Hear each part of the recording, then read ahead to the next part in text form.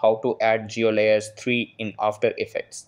Hey guys, in this video I am going to show you how you can add GeoLayers 3 in After Effects. So make sure to watch this video till the end and let's get started.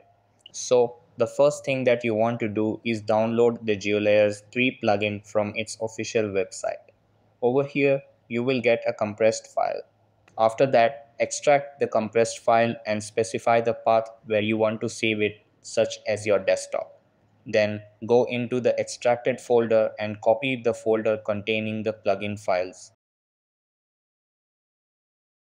Next, if you are on Windows, navigate to this folder and paste the copied folder there.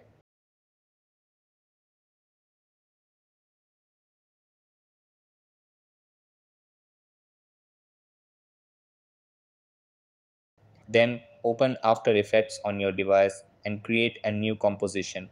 After that, go to Edit then Preferences and then Scripting and Expressions. Over here, enable the option Allow scripts to write files and access the network and click OK.